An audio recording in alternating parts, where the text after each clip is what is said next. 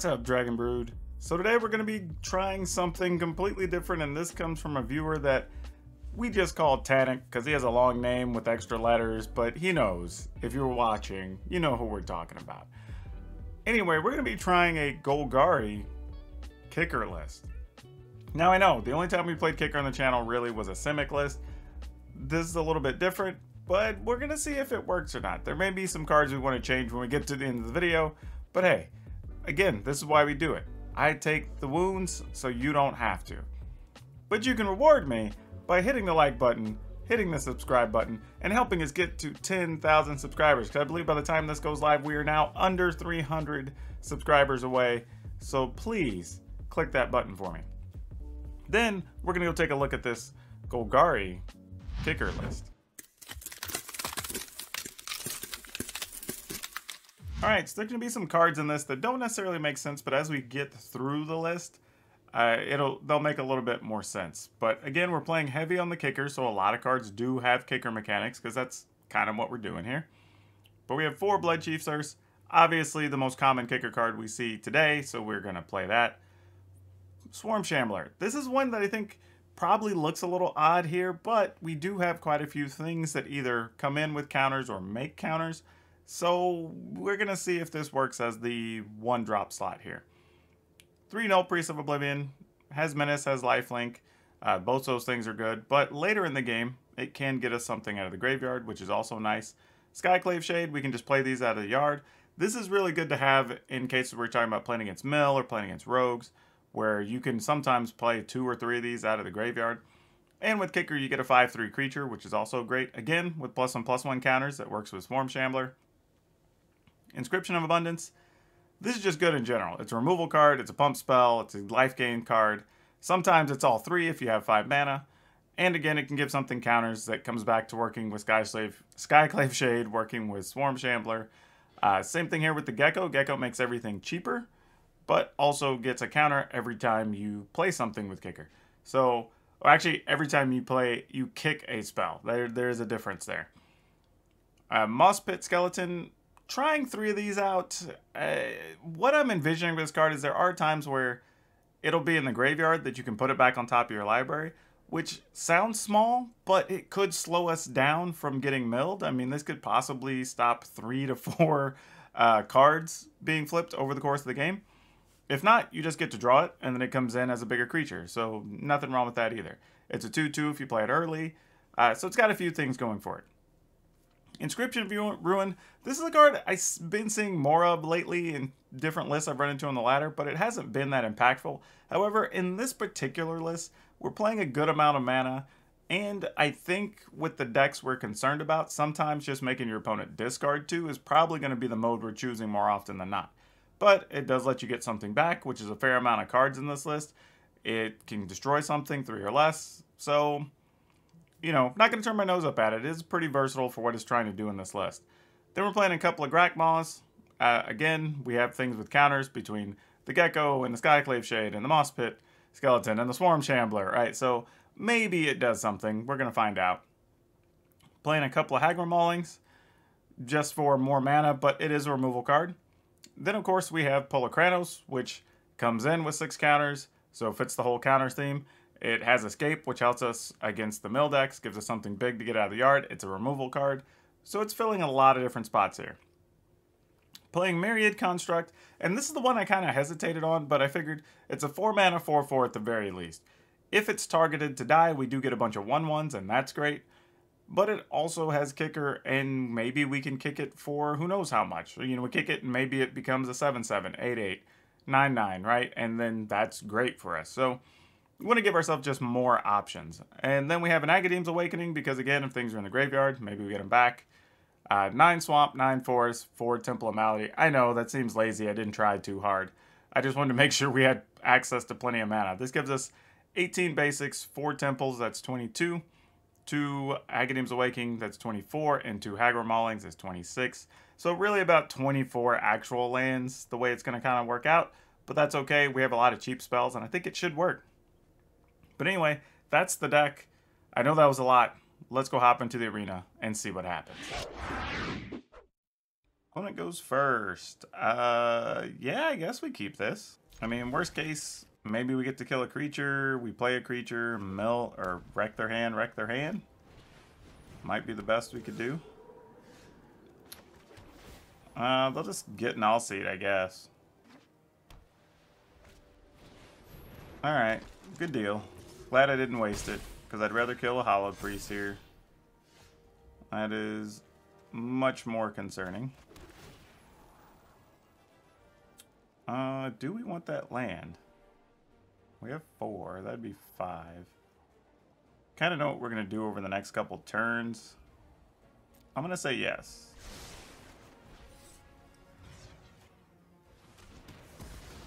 Mostly because if we get to turn five, we may want to, like, cast a three and a two at that point. Sure. Seems reasonable. Uh, sadly, I'm not going to strip their hand, because I think... Wait, how do I get to choose up to two? Oh, I think it was letting me, because I accidentally clicked kicker, even though I didn't have the ability to pay for it. Alright, this is a sorcery, which is unfortunate, but do what we gotta do. Probably another one with my luck. Nope, just another Alseid, and that's it. Okay. So let's find out if the opponent's holding, like, Banishing Lights or something, because that's what this feels like. Make them discard two cards.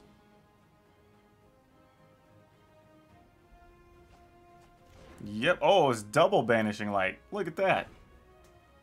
Called it. I feel like Nostradamus right now. I guess I wasted that. I should have bought a lottery ticket instead. But it would have been more exciting. Um... Let's see. We can play this with Kicker. Enters the battlefield with three plus one plus one counters on it. Uh, you know what? Yeah, let's do that. Let's pay it all. I started to just play that in Grakmaw, but I'm like, you know what? I'm just going to go all in on this thing. Why not? If they remove it, they remove it. We're at 15 life. And the other cards we have are better. I mean, if they have a way to kill it, which I don't know what that would be, we could get it back possibly later with Nullpriest. Oh, did we turn the corner? Yep, making them discard those two, uh... Let's see. Grakmaw, whenever another creature you control dies. Okay, so... Let's just get in here with this pit moss skeleton, or moss pit skeleton first. And I am going to go ahead and pay kicker on this one. So we reached the point that if we get to five or six mana and we're able to stabilize our life, we are going to have just a bunch of big creatures. Yeah. All right. Opponent gives up. All right. I think we keep this. I mean, we don't really get to utilize the uh, gecko for a couple turns, but if we can find another land, we could set that up. One has a Hushbringer. Fortunately, I don't think we have anything that cares about ETBs. The only thing with something like this, but it just enters with the counters, so it's not when it enters the battlefield, which is nice. Oh, this is going to get annoying. So many of these decks lately. Okay, well, I need a removal card for the Hallowed Priest. We did not find one, so now we're going to struggle. Such is life, I suppose.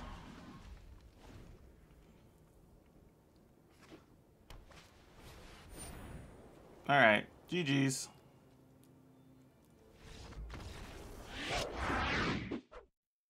Oh boy. Alright, we'll try this. We're just gonna Gecko Gecko Skyclave Shade. Alright. Let's see what happens.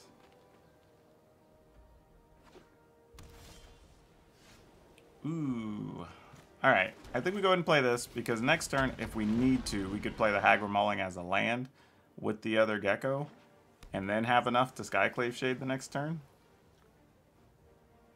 Which is pretty nice. Uh, it's also possible the opponent just wants to uh, counter another Gecko.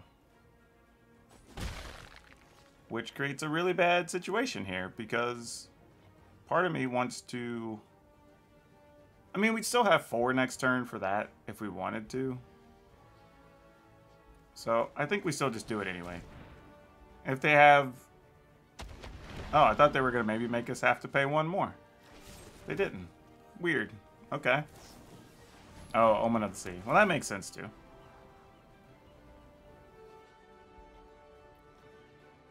So now we have a situation. Because if they shatter the sky in two turns, I mean, we, well, we'd be able to get Skyclave Shade back, so that's not the worst thing. Though it could be an apparition here. And if so, we kind of want to set up for a big inscription. Would let us kill both of those. I'm going to go ahead and cast this with Kicker. When we pump up our other two creatures, if they counter the Shade, it just goes to the graveyard. So we wouldn't be that worried about it.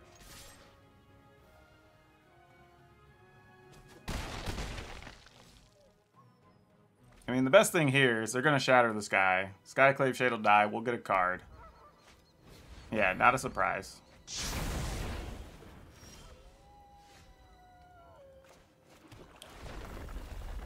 Let's see. Two, four, five mana. Six mana. We could Shade without Kicker and just play Swarm Shambler. Which I think is correct. With the assumption that they're likely going to try to play Apparition here if they have it. I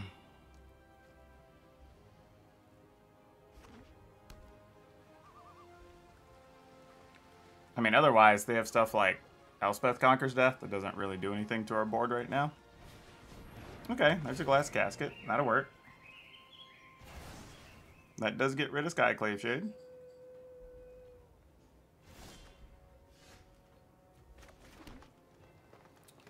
That's intriguing. I can do that and get one of those back.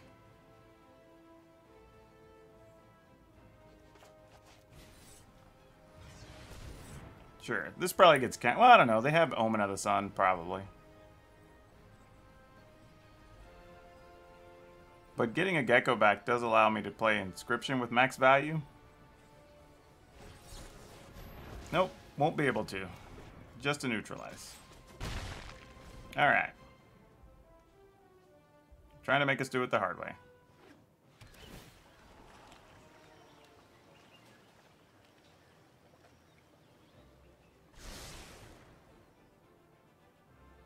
Uh-oh. There goes our Shambler.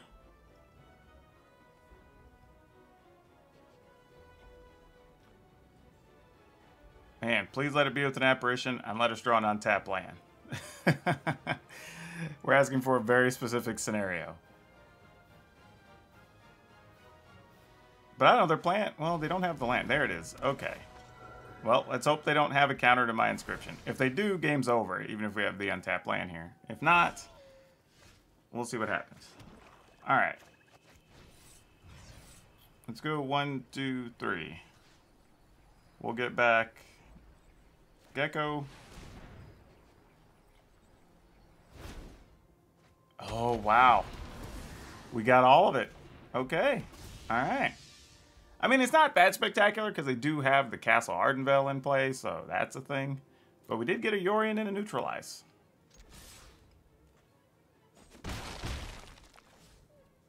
Alright, I'm going to assume they're just going to make a token here. Actually, they might just scry instead. Yeah, and we have enough mana that... Oh, Mazemind Tome. Hmm. That could be unfortunate. So I was thinking, like, some stuff we draw with Kicker, we'd still be able to pay for, like, Mystical Disputes or something if those are in play. Don't know if the opponent's playing those or not, obviously. Oh, no. Oh, that is just the saddest thing, y'all. This is the saddest little attack step here.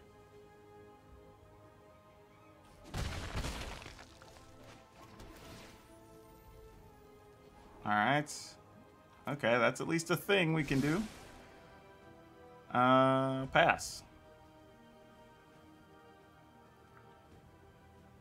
Almost makes me... Uh, well, I guess we didn't know we had a Skyclave Shade, though. So it almost was worth it to keep a land in hand. Just so if it does get countered, we can get it back. Because if the opponent's not playing something here, I am curious as to what it is they're they're not playing. Well, they were checking all their cards. And they had something they could play, but they didn't. I don't know what.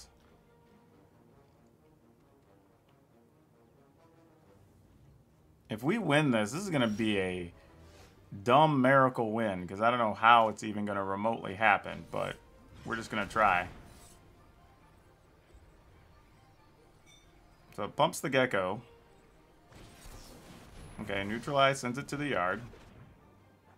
We still get our plus one, plus one, so we get to attack for four. And we have mana in case the opponent wants to bounce a creature or something.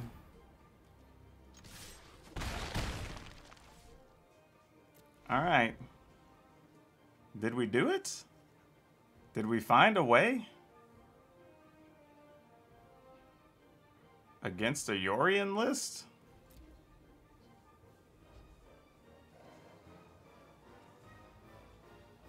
If so, this has been, I will call it both the most surprising and abnormal win we've probably had with the deck in a long time. We are attacking with a illusion and a 3-3 gecko. That is not how this deck's trying to win.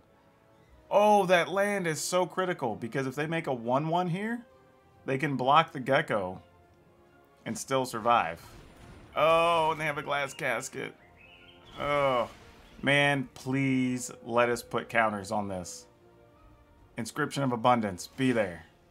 Uh, well, you know, I tried to will it to be, y'all. I tried. I tried.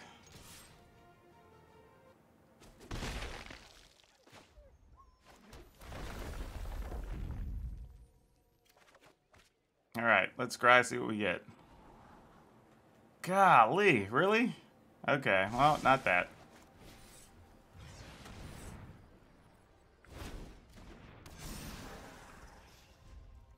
So there's a lot of ifs in this scenario. Uh, I don't know if we have any other... That's not true. Abundance, Inscription of Abundance is also an out. So that gives us four total. Because we can play that at instant speed. Um, and Polukranos, because we can... Well, not you. You you were not it. Polukranos would have been the other one because then we could cast it and still kill something at instant speed, and that, that would have worked. But... Uh, no such luck here, actually.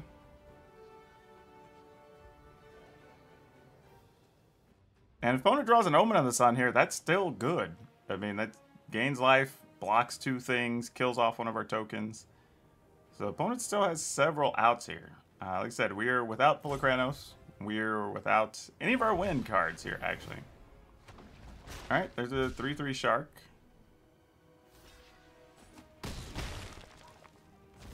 That's a reasonable play by the opponent. I don't hate that.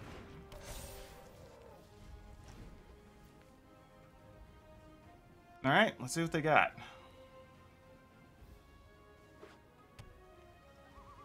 They have plenty of mana now, so now they can play something and still make tokens. So that's that's a real threat. Okay. Alright. We can still force them to tap a Dream Trawler. If we can get the right cards here. Oh, come on. Come on, deck. Come on. Just... Ugh. Ugh. We had so many things. We had so many things that we could have tried to get them to kill the Dream Trawler with this. They would have tapped it. Then we could have used an Inscription of Abundance. Would have been great. Uh... Polukranos would have still done some work. Wow, just so many outs and none of them that mattered. We just failed on so many levels. Actually, even another Inscription of Ruin would have been fine, actually. We could have made the opponent discard their hand and killed the Dream Trawler. So that would have been a thing. But, uh, yeah, we just, we just failed. Wish I had more, more insight for you, but no, we, we just missed. We had so many cards to draw, and we drew all the wrong ones. Same scenario, still looking for outs. And we still have some.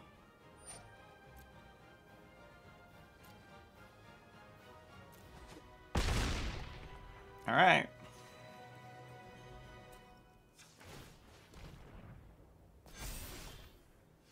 Oh, that is too little too late. Yep, we're out. Ugh. Okay. Uh, sure. Play this first. Probably gonna have to go get a swamp. So we can play Swarm Shambler and a Bloodchief's Thirst on turn one, potentially. Or turn two, I mean. But yeah, probably what's gonna happen here.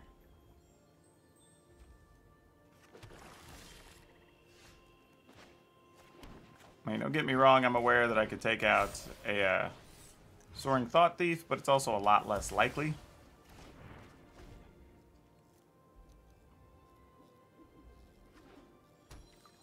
Alright, well we don't even have to worry about a Thought Thief this turn. Could be another Wind Robber, though. It is not. Hmm. So now we're kind of faced with a weird situation because growing the Swarm Shambler actually does have value in this matchup to get it to a 3 power. But I think I also want to shape our draws a little better. Uh, I'm just going to play this. And then attack. I mean, they might just mill whatever we leave on top anyway, but meh. Not a lot we're going to do about it.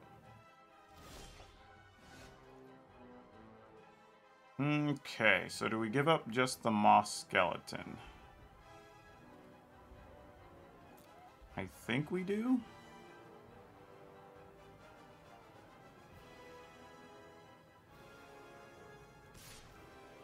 Alright, we'll give it up.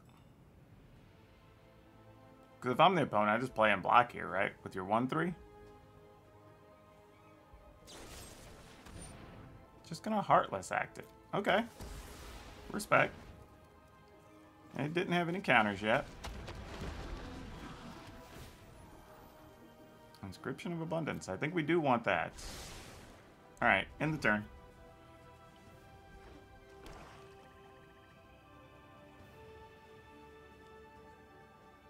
Oh, that gecko is not going to survive, is it? yep. That is deader than a doornail. Unfortunately, I wish we would have had this in hand because it would have blanked that uh, Heartless Act. Do we want to put this on top? Yeah, I think so, actually. I think we do. Because now we're at the point that if we can just start cycling 5-5s, then so be it.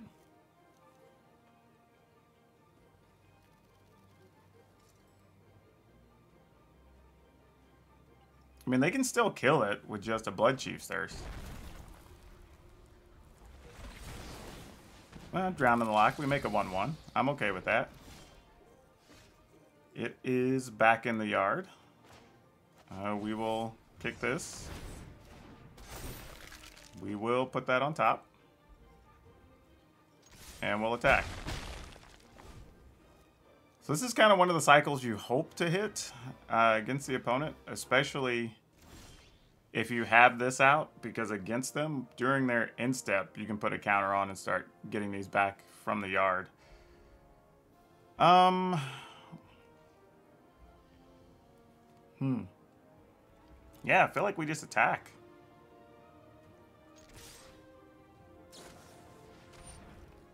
What do we have in the yard here? Alright, that's not much of anything. Sure. Gonna play a second one? Soaring Thought Thief. One, two, three, four, five. One, two. It's only going to put seven cards in the yard, right?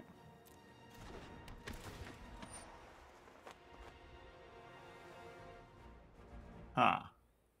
We definitely are going to use this. It's just a matter of what do we feel like killing. And I think we're going to do this.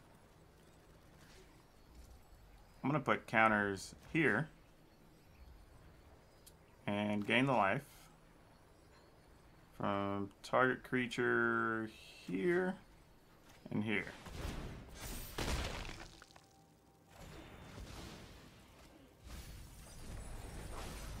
Alright, Polukranos in the yard. Now we just need to find a land for that.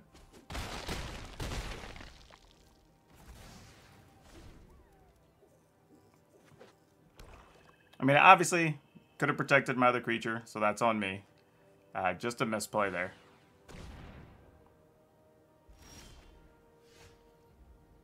Not what we were looking for, but... Um... Hmm. Alright, let's attack first. Because if they do find a way to kill our Moss Pit skeleton, we can put it on top.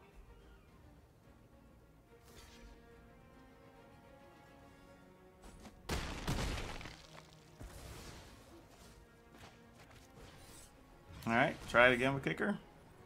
Probably gets countered. Oh, it doesn't. Oh, then I don't know what the opponent's going to have here. Alright, Lurrus.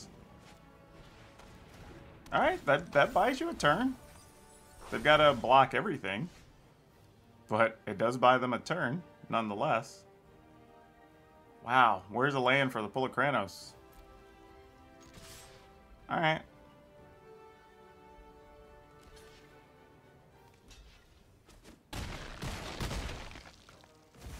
Sure. I'm down. This is a card we don't mind getting countered. Uh, we will put that on top. Though we do want to land here. Uh, just getting another card that's another 5-5 that they're going to have to struggle to deal with is okay. And again, it slows down the milling. Alright. Managed to get one there. Okay, so we made a few changes to this list. Um, we'll see how they work out. but it's to give us just a little bit consistency, a little bit of a longer game, something to do with our mana. I think we're just going to open with this Agadeem's Awakening coming into play tapped. Uh, probably go with the Skyclave Shade here.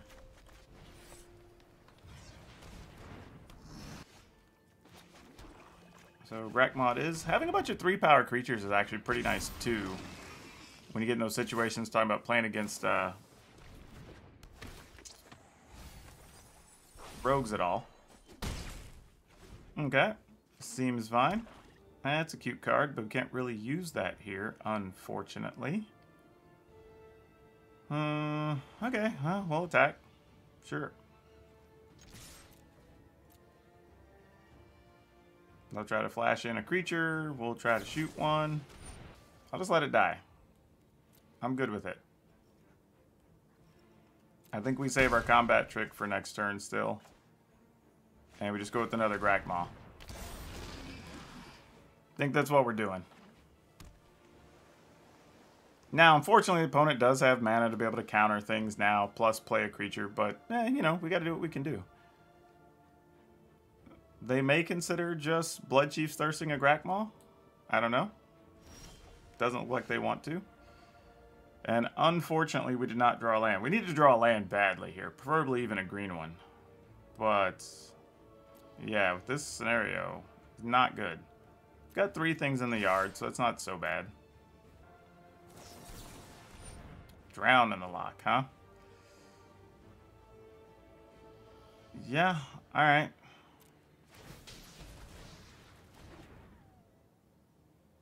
I'll get a 3-3. Oh, Brazen Borrower. Okay.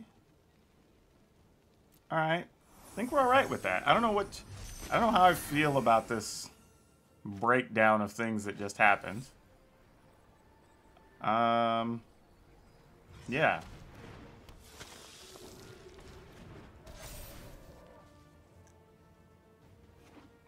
I mean, they can play that. It doesn't block anything that we're concerned about here. Uh, we obviously did not find our land, which is highly disappointing.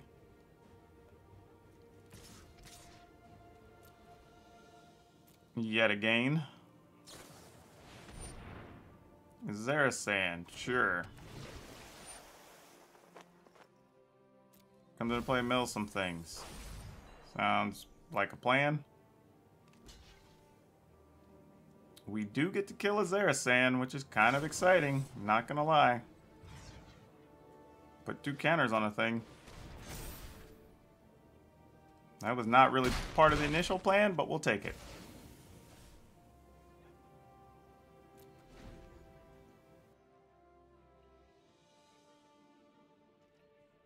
Like, sometimes you just gotta find it where you can, you know? Oh, gosh. This is a long way to go with no lands. Let me tell you. It's very disappointing. Two, four, six, seven. So the next thing that comes into play, they're definitely going to have the lands to do what they want. Alright. This is what we're going to do. Eliminate. Alright. Sure.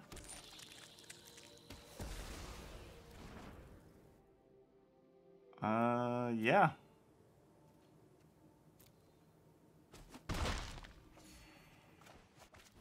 Play a Swarm Shambler. See if they want to counter that.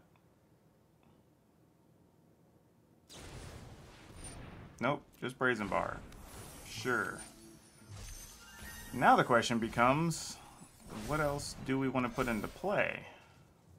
Because a Nullpriest is going to be hard for them to block.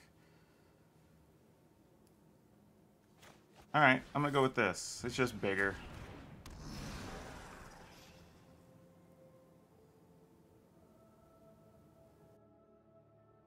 I mean, really, if we can get another land, I could just play Gecko and Nullpriest would be great on the same turn. There we go. That took a little while. Have another Skyclave Shade. We'll see how the turn goes first before we dedicate to playing that. I think our plan here is attack here and here. I think is what we want to do. So if they have some other flash creature hasty business, we can get that covered. Okay, drown in the Loch, reasonable.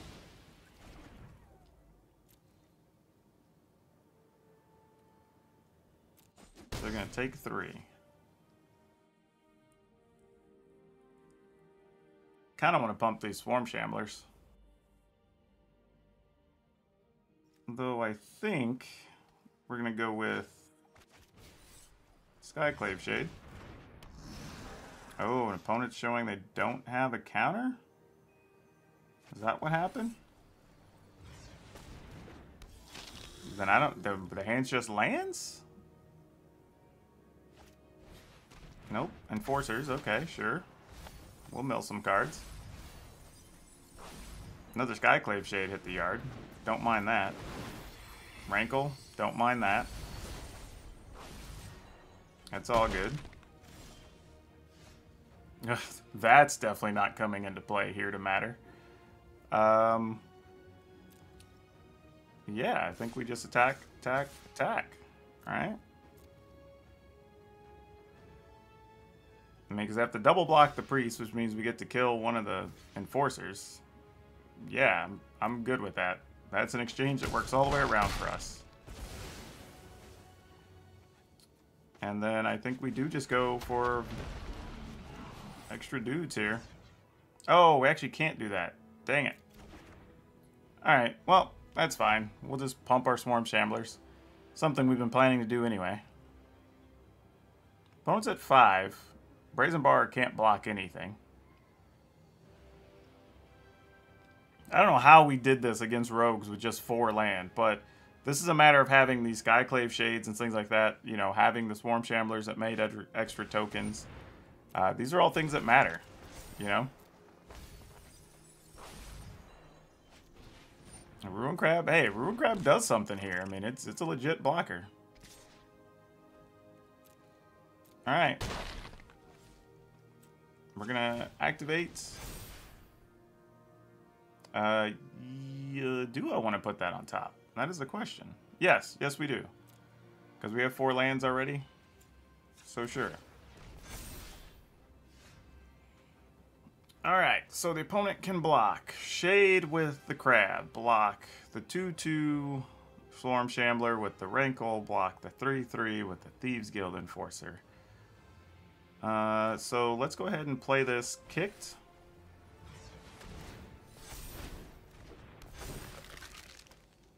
And then get in there.